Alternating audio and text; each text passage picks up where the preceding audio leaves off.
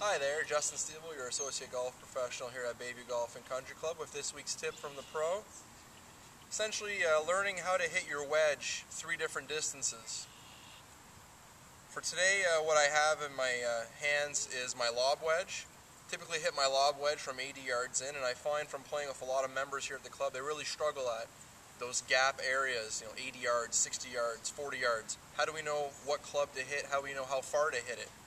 Um, and what I typically tend to see is a lot of members get worried about hitting it so far that they set up to the golf ball and then they totally, you know, decelerate on the way through and then they end up blading the ball and sending it over the green or they end up really chunking the ball and hitting it four or five feet in front of you.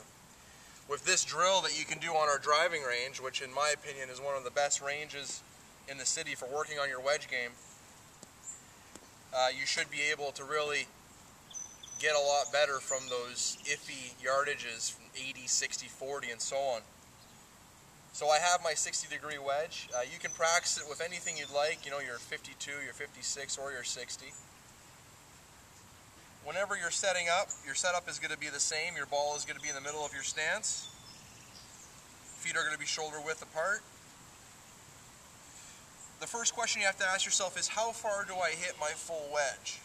So for me, with my 60 degree, I know I hit that wedge 80 yards on a full swing. So if I have a green that's directly in front of me here and I'm going 40 yards, I know directly off the bat that my full swing is right here. Therefore, if I go half, drive through with the same power, I should get that ball to the green pretty effortlessly. The key thing is, is that you want to always continue with the same amount of power on the way through. You never want to decelerate. Never take anything away from the follow through. So again, we're going back halfway, then driving through.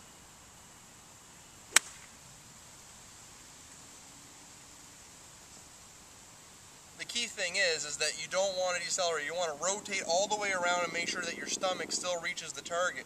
I find when a lot of people are in at close yardages, what they tend to do is they get so worried and it's more of they back off and they kind of get worried and their whole posture kind of goes out the window.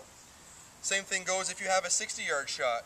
If you have a 60 yard shot and you hit this about 80 yards, you know, it's about 75% of your swing. So again, we're going back up to here. We're not going to be here. We'll be somewhere in the middle with the same drive. Always the same drive. Thank you very much for listening to this week's tip from the pro. Hopefully this helps you from those iffy yardages. Can't wait to see everybody in the golf shop.